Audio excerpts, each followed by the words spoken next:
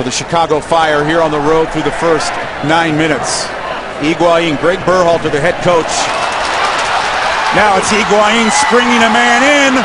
The drive. They strike. Ethan Finlay makes it 1-0 here in the 10th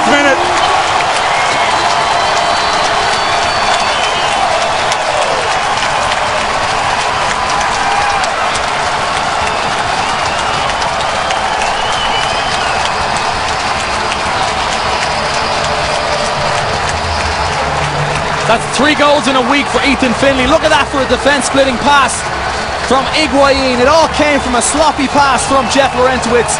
Greg Cochran couldn't get back on time. I thought he had got there.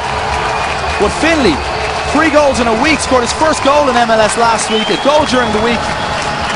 And now another one. Blistering pace